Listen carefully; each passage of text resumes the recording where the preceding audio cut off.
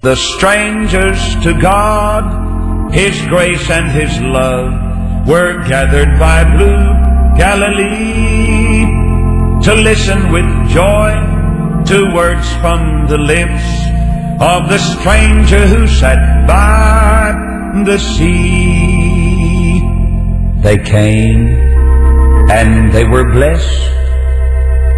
He gave the weary rest. He made the blinded eyes to see. He fed the hungry soul, and he made the wounded whole by the waters of blue Galilee. They sat at his feet, and they looked in his face, content in his presence to be, for no one before had cared for their souls like the stranger who sat by the sea.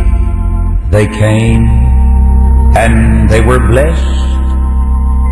He gave the weary rest. He made the blinded eyes to see. He fed the hungry soul and he made the wounded whole by the waters of blue Galilee.